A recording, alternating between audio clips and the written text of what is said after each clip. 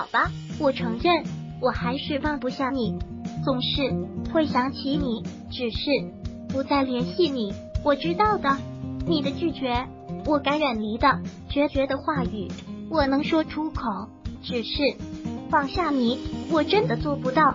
如今的我，想起你，感受到真切的疼痛，你温柔的拒绝，却是我久久放不下的。